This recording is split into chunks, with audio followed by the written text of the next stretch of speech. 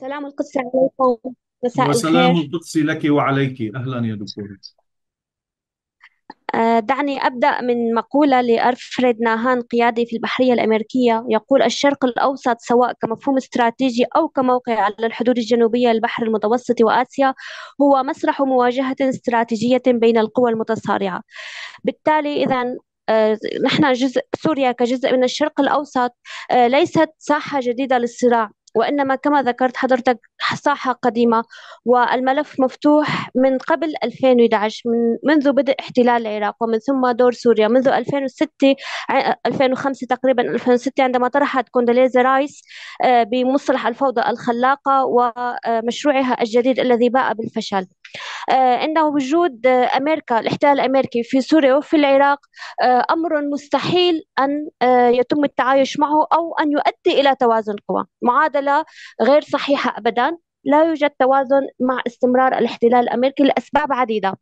السبب الأول أن الوجود الأمريكي الغاية منه هو تطبيع النظام التركي من خلال خلق قسد ودعم الأكراد آه، في سوريا ليبقوا دائما ورق الضغط على النظام التركي وليكونوا دائما نقطة خلاف بين سوريا وتركيا وحجر عثرة لمنع تقارب سوري تركي.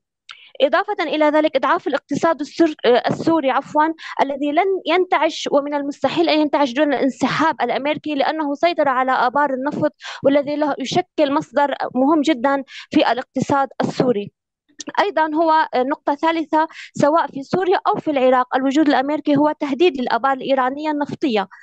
بالإضافة إلى أنه تهديد النقطة الرابعة للقواعد الروسية سواء كتجسس سواء كعدوان نفرض طائرات مسيرة يكون له أفضل من لم لو لم تكن هذه القواعد موجودة. آه، وأيضا آه، هو آه، على المدى البعيد يسبب إلى عدم استقرار أمني في سوريا.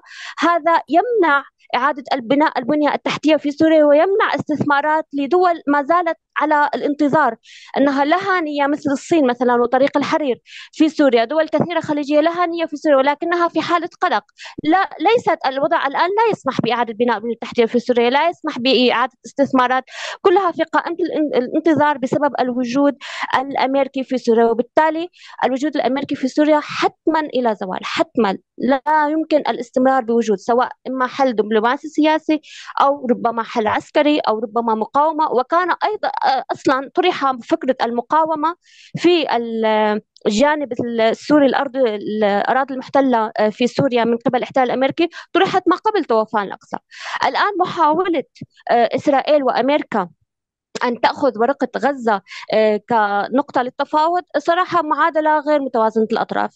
آه، عزة غزيزة عزيزة فلسطين عزيزة علينا ولكن منذ البداية وجهة نظري قد أكون مخطئة المقاومة أعلنت أنه نحن لدينا مقاومة لدينا جبهات إسناد لغزة. هذه ورقة مختلفة عن الوجود التركي آه، عفوا الأمريكي في سوريا كدولة مستقلة. سوريا دولة مستقلة آه، لها قرارها الذاتي لها سيادتها الذاتية سواء آه، بغزة أو بدون غزة. قبل الطوفان أو بعد الطوفان سوريا لها سيادة وأراضيها بإذن الله سوف تعود محررة. شكرا.